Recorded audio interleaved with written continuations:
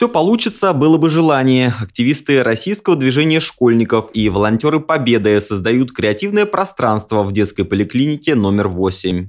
Сделан ремонт в поликлинике, но стены вроде как бы красивые, все сделано, все хорошо, но как бы они голые, будем так говорить.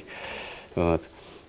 Подумали, порешали, и был у нас проект уже, который шел, это роспись стен в Кохомской детской поликлинике. Вот, и решили попробовать здесь сделать то же самое с силами волонтеров Победы. Добровольцы, конечно, нашлись. Откликнулись ученики 43-й школы и педагог доп. образования Марина Сатиева. Если в Кохме в основном работали студенты художественного училища, то некоторые из этих ребят взяли кисточки впервые. Куратор проекта говорит, что это не страшно, ведь во многом роспись делают по трафаретам.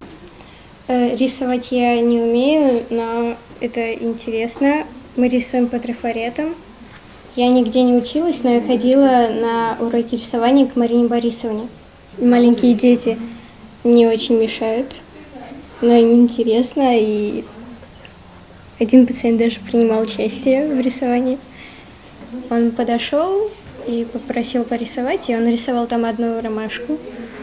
Работа закипела на лестничных площадках и в вестибюле второго этажа. Тему росписи выбирали сообща. Администрация поликлиники цветочный дизайн одобрила. Также решили украсить стены сюжетами из советских мультфильмов. Паровозик из Ромашкова. Трям, здравствуйте. Все мы родом из детства. Эти мультфильмы смотрят и дети сегодня.